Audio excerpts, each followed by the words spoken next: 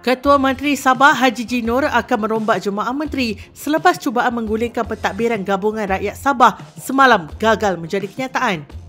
Timbalannya Buk Motaradin yang dikaitkan dengan cubaan itu dijangka menjadi korban dalam rombakan itu.